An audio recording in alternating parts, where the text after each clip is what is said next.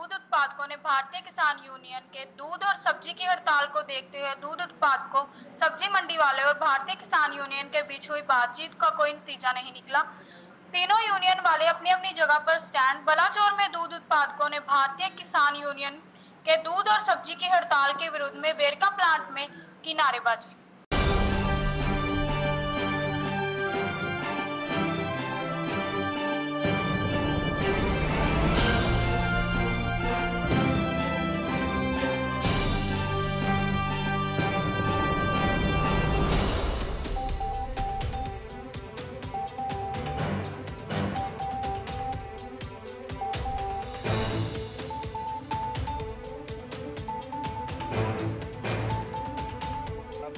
ਕਿ ਨਾਲ ਹੋ ਰਿਹਾ ਹੈਗਾ ਸਰਕਾਰੀ ਅ, ਅਦਾਰਾ ਹੈਗਾ ਉਹ ਲੋਕਾਂ ਦੇ ਹਿੱਤ ਦੇ ਕੰਮ ਕਰਦਾ ਹੈਗਾ। ਕੋਈ ਵੀ ਨੁਕਸਾਨ ਹੁੰਦਾ ਹੈਗਾ ਉਹ ਜ਼ਿੰਮੇਵਾਰ ਹੈਗਾ। ਅੱਜ ਜਿਹੜਾ ਅਸੀਂ ਮਰ ਰਿਹਾ ਹੈਗਾ ਲੋਨ ਚੱਕ ਚੱਕ ਕੇ ਅਸੀਂ ਡੈਰੀ ਫਾਰਮ ਬਣਾਏ ਹੈਗੇ। ਜਿਹੜੀ ਕਿ ਇਹ ਕਣਕ ਝੋਨੇ ਦੇ ਉਹਦਾ ਬਦਲ ਇਹ ਇਹ ਸੀਗਾ ਡੈਰੀ।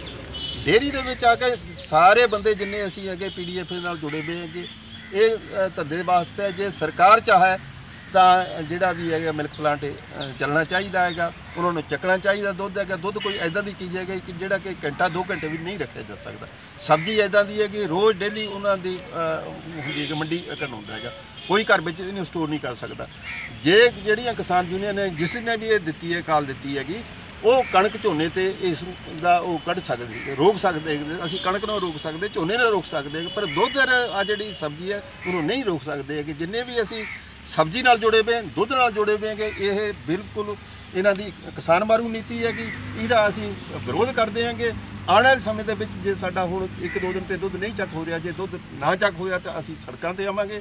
ਸੜਕਾਂ ਤੇ ਆ ਕੇ ਅਸੀਂ ਜਿਹੜਾ ਵੀ ਗਾਹਾਂ ਸਾਡੀ ਐਸੋਸੀਏਸ਼ਨ ਹੈਗੀ, ਜੋ ਫੈਸਲਾ ਲਊਗੀ, ਉਹ ਅਸੀਂ ਕਰਾਂਗੇ। ਸੋ ਇਹਦੇ ਵਿੱਚ ਅਸੀਂ ਅਪੀਲ ਕਰਦੇ ਹਾਂਗੇ, ਸਰਕਾਰ ਨੂੰ ਅਪੀਲ ਕਰਦੇ ਹਾਂਗੇ, ਇਹ ਜਿਹੜੀਆਂ ਸਾਡੀ ਮੰਗਾਂ ਹੈਗੀਆਂ, ਉਹਨੂੰ ਮੰਨਣੇ ਚਾਹੀਦੀ ਹੈਗਾ ਦੁੱਧ ਦਾ ਸਾਡਾ ਚੱਕਣਾ ਚਾਹੀਦਾ ਹੈਗਾ।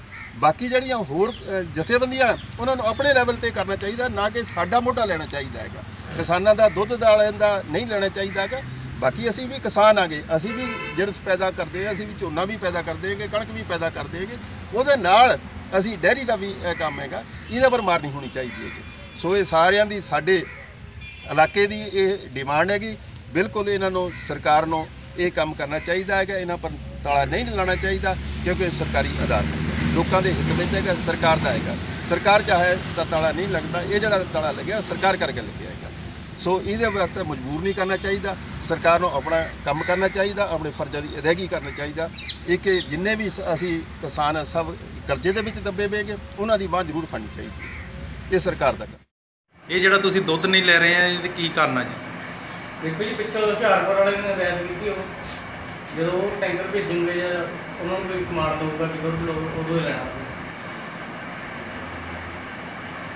ਕਿੰਨੇ ਕ ਬੰਦੇ ਇੱਥੇ ਤੁਹਾਡੇ ਕੋਲ ਆ ਕੇ ਕਹਿ ਕੇ ਗਏ ਆ ਕਿ ਦੁੱਧ ਨਹੀਂ ਲੈਣਾ ਇਹਨਾਂ ਦਾ? ਕਿਸਾਨ ਯੂਨੀਅਨ ਦਾ ਪ੍ਰਧਾਨ ਆਇਆ ਸੀ।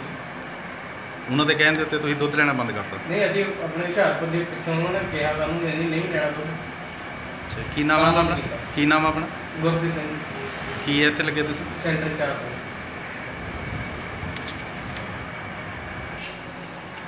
ਇਸ ਲਈ ਤੁਹਾਡੇ ਸੈਂਟਰ 'ਚ ਇੱਥੇ ਕਿੰਨਾ ਦੁੱਧ ਪਿਆ ਜੀ? ਕਰੀਬ 6500 ਲੀਟਰ ਜੀ।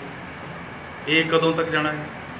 ਕੋਈ ਉਮੀਦ ਨਹੀਂ, ਅੱਜ ਅੱਜ ਵੀ ਆ ਸਕਦਾ ਸ਼ਾਮ ਨੂੰ ਜਾਂ ਕੱਲ੍ਹ ਵੀ ਜਾਂ ਪਰਸੋਂ ਵੀ।